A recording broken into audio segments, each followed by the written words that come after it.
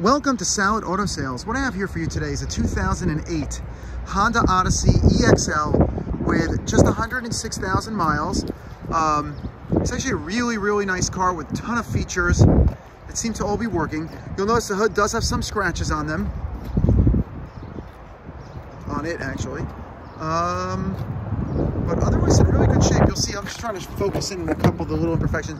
Power seats on both sides. The interior is immaculate.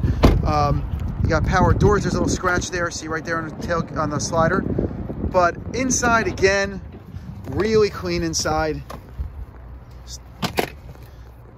Really clean inside. Power options are working. Again, noticing the little scratches back here. A little dent over there, right above the tail light. The eighth seat is here. This, this row does fold flat.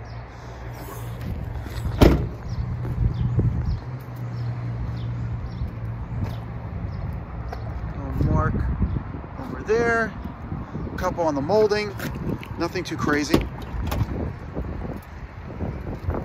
Again, very clean. Power doors are working. Tires are in nice shape. Those are your headphones for the DVD audio. I don't know if the headphones work, but uh, DVD definitely works. We just tested it. Power windows, power locks, power mirrors, traction control, ABS. Here, let me uh, start the car to see all the warning lights turning on and turning off. There is a, just to make you aware, the TPMS, the tire pressure monitoring system light is on, um, but all the other lights are out. 106,858 miles. Um, I just tested the DVD, so it's saying that, but and, and, it does work. You can see that in my still photos. You'll be able to see the uh, DVD loaded in there. Heated seats. You do have a backup camera in the rear view mirror. And you got a power sunroof. And let's see how we open that up, just in case you wanted to know. Um, here we go. And that is working as well. No issues.